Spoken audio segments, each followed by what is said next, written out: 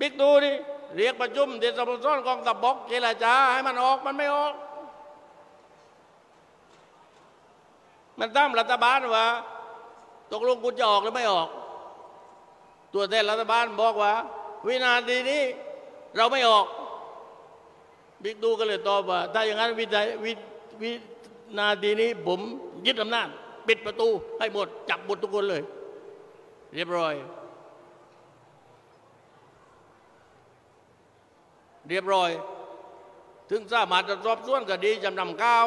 สอบสวนคดีต่างๆ ยิงละติดคุกตั้งหลายปีเลยนี่ไปอยู่กับพี่ชายเดี๋ยวดูไว้เห็นไหม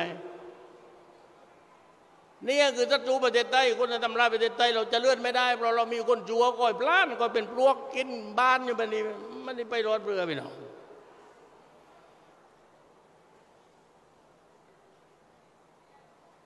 เรามีคนดีอยู่แล้วนี่คือบิ๊กตูนี่บิ๊กตูปีสู้ได้แล้ว เห็นมาแปดปีนี่เป็นปฏิการแปดปี แต่ว่าเป็นนายกรัฐมนตรีมาจากการเลือกตั้งอีกสี่ปี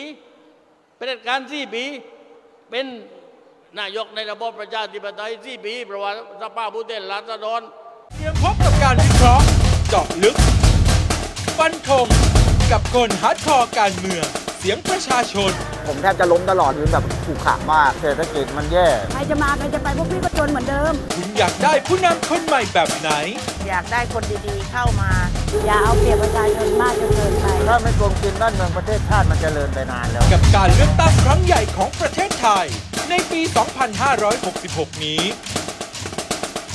ติดตามแบบเกาะขอบสนามการเมือง ใน Daily News เจาะลึกเลือกตั้ง 66 ได้ที่ Daily News ออนไลน์